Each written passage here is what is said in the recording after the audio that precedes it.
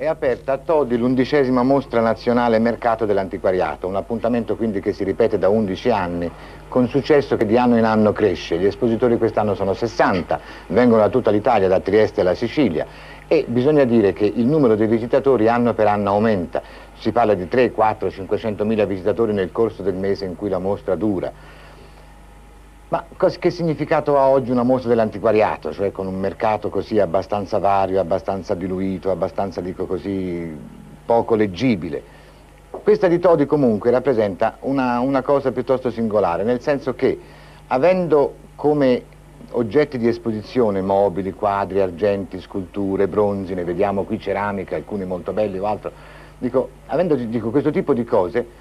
il, il mercato si orienta tra le persone che hanno desiderio e volontà di comprare un oggetto bello e che costituisca al tempo stesso un investimento. Ma tuttavia io credo che al di là di questo significato che le mostre dell'antiquariato possono avere oggi, oltre Todi ce ne sono molte altre in Italia, all'estero, che rappresentano tappe fisse appunto di questo mercato in espansione, la funzione prima di queste mostre, proprio dal punto di vista sociale si può dire, sia quella dell'educazione del pubblico, nel senso che il pubblico viene a queste mostre, vede un oggetto bello, un oggetto di qualità, un oggetto vero, un mobile di stile, una, una ceramica che abbia una storia, un bronzo che costituisca in fondo in qualche modo proprio l'elemento tramandato di un'eleganza formale, stilistico, altro. Sotto questo profilo l'educazione del pubblico è estremamente importante perché oltre che a affinare culturalmente e a qualificare nel senso della scelta, dell'indicazione, dell'indagine su quello che è il campo dell'antiquariato, il, mercato, offre anche lo spunto di creare nuovi collezionisti, nuovi, nuovi acquirenti, che è naturalmente una delle ragioni prime di queste mostre, perché il giro di affari di queste mostre è notevolmente rilevante in certi casi, insomma,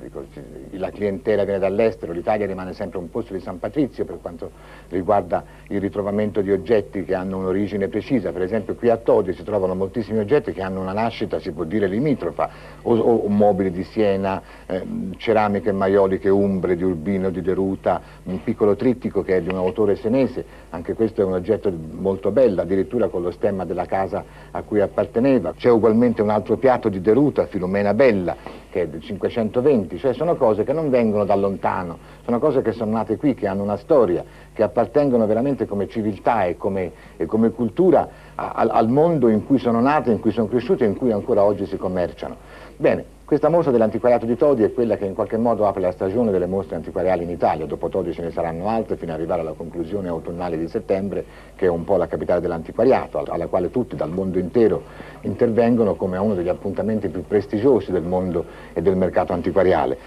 Comunque in questa mostra di Todi dicevamo ci sono mobili, oggetti, argenti molto belli, ne vediamo qui una serie particolarmente belli, tutti inglesi con degli Sheffield che sono più preziosi dell'argento vero, gioielli anche molto importanti, ci sono dei tappeti per esempio, un titolo che si va esaurendo quasi, dico sul mercato europeo, proprio per la mancanza di produzione nei paesi d'origine e soprattutto per la, per la, rarefazione di quelli che sono i, gli elementi così, dico, nel, sul mercato internazionale la cui sede è Londra.